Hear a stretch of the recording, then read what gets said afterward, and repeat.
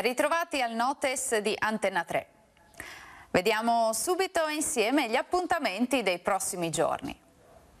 Apro la puntata di quest'oggi segnalandovi la mostra intitolata Tra i maestri del vero Luigi Cima, un progetto espositivo con l'organizzazione dell'amministrazione comunale di Borgo Valbelluna in collaborazione con l'associazione Art Dolomites.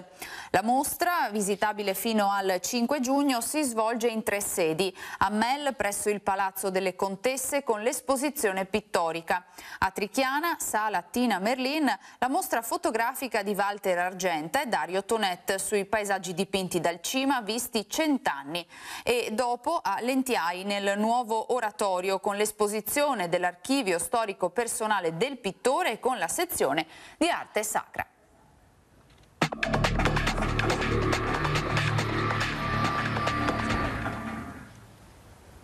Nel 1941 nacque lo Stato indipendente di Croazia.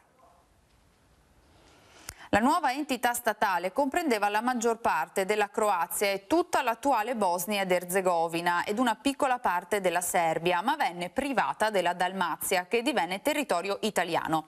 Il Regno d'Italia, con lo smembramento della Jugoslavia, creò un proprio governarato che comprendeva la Dalmazia, parte della Slovenia e la costa montenegrina, inglobando inoltre il Kosovo e una parte della Macedonia. Il nuovo Stato comprendeva circa 6 milioni e mezzo di abitanti.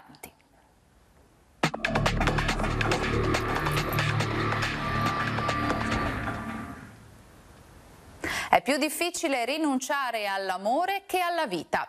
Louis Céline.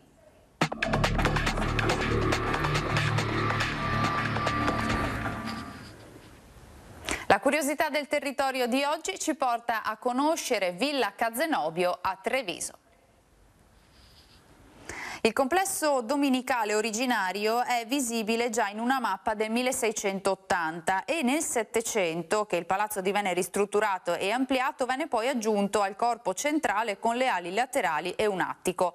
La villa conserva importanti testimonianze figurative che costituiscono una pagina significativa della decorazione settecentesca veneta. La sala della musica fu decorata con affreschi alla moda attribuiti a Gregorio Lazzarini. Nella sala da ballo sono rappresentati episodi di tematica storica.